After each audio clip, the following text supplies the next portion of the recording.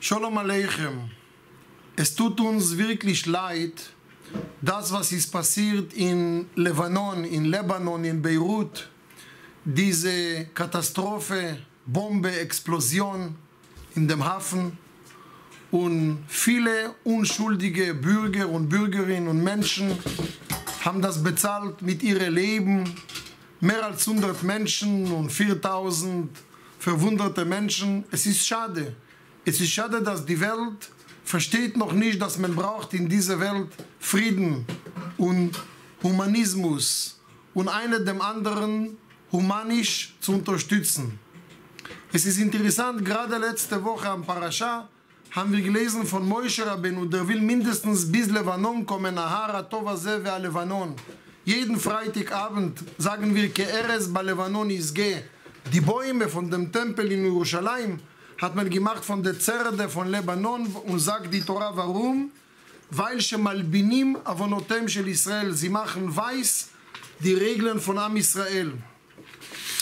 Ich wollte euch aber ein paar Sachen sagen. Es ist unklar, was ist dort wirklich passiert. Man stottert und man sagt nicht die Wahrheit, man will etwas verbergen.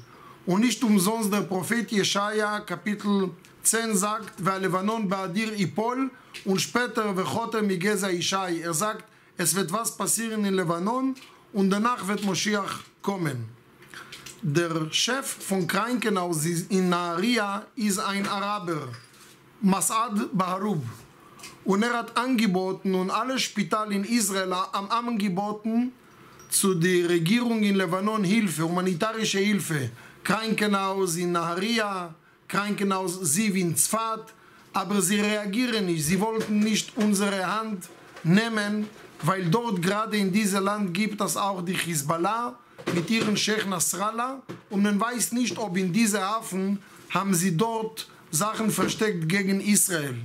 Nichtsdestotrotz, Hashem führt die Welt, nicht Politikers und nicht Verbrechers und nicht Terroristen.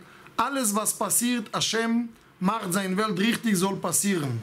Unseren Mitgefühl an das, was passiert in Lebanon, Hashem soll, soll vertrieben alle Frevler und böse Menschen von dieser Welt und dass die Menschen, die dort leben, Frauen, Kinder, Männer, die unschuldig sind, sollen nicht leiden von Meshugoyim und von verrückten Leuten.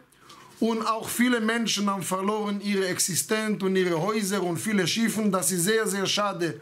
Gerade in dieser Zeit, wo sowieso die Ökonomie dort ist so niedrig, wegen die Corona zu bekommen, so einen Schlag, tut uns weh.